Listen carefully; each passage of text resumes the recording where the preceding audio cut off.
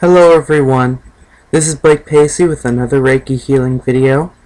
Uh, this is the Ethereal Crystals Reiki healing video.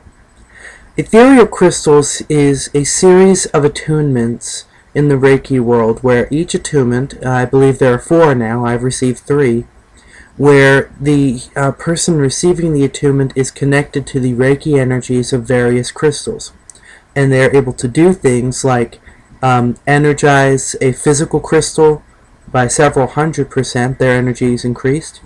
Um, gem elixirs are normally made by taking a crystal and uh, a glass of water or anything and putting that crystal in there and letting it soak in the water for 12 or 24 hours depending on who you go to.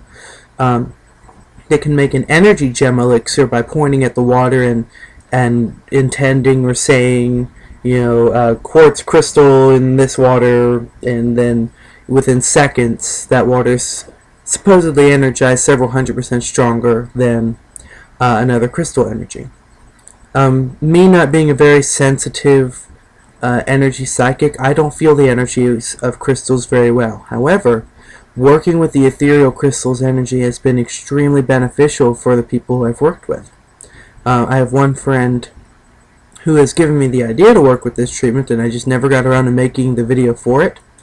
Uh, there are just so many crystals and you can put them in so many places on someone's body like uh, quartz crystal in the head, uh, rose quartz in the heart, uh, red jasper on the base chakra and I just I, I wanted to do a carte blanche and I said alright higher self place all of the appropriate ethereal crystals in all the appropriate places in so-and-so's body for the appropriate amount of time uh, that will bring about the highest good and the greatest healing and benefit for him.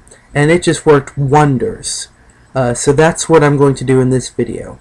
Instead of trying to do a whole bunch of crystal treatments, I'm just going to do a carte blanche. Alright, um, here you go. All you have to do is just want to receive this treatment, and you will.